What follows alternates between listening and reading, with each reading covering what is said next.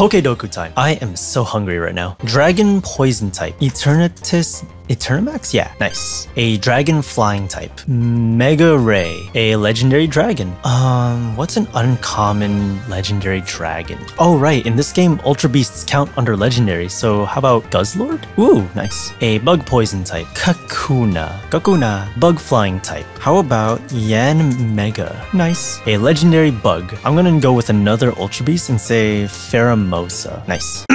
a poison type from Hoenn. I'll go with A flying type from Hoenn. How about Tropius? And finally, a legendary from Hoenn. Um, wait, are the Deoxys forms included in this? Oh, they are. Uh, I'll go with defense form. Alright, I'm gonna go get some food.